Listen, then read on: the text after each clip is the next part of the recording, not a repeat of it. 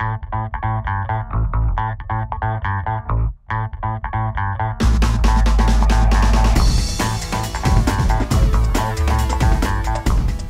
have displayed uh, cells here and uh, we are manufacturing lithium ion cells in LFP chemistry right now.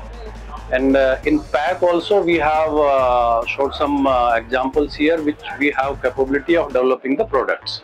Right now we are the first one to manufacture lithium ion cells at mass scale in LFP chemistry and our current capacity is 600 megawatt hours per annum.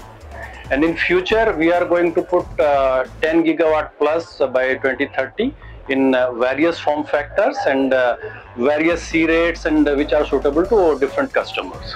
We are manufacturing a cylindrical cell. This is 30 to 140 size, which is 15 Ah cell. We are uh, manufacturing these cells in uh, Bangalore, a place called Dobbaspet, which is very near to Bangalore. So there we have this facility. There we'll expand a little bit more uh, to a gigawatt facility of 1.5 gigawatt but uh, next facility of uh, 5 gigawatt will put in Bangalore but on other side of uh, Bangalore. Then in future we'll have multiple uh, assembly facility in different locations shooting to customers. We have qualified all the government uh, standards also like uh, BIS, UN certification to export outside and all IEC and IS standards. And many customers are using our cell. We are the first one to give these cells commercially to customers.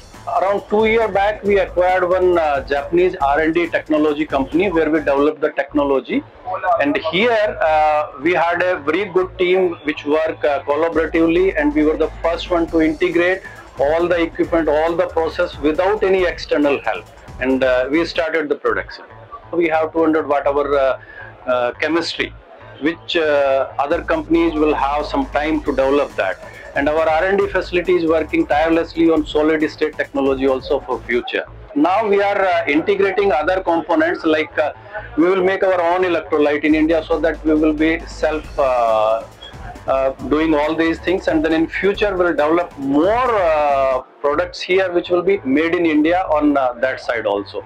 And on upper stream side like pack manufacturing like I explained earlier we have many components which will be manufacturing for other OEMs also. So we will be giving a full solution of make in India and uh, having developed here everything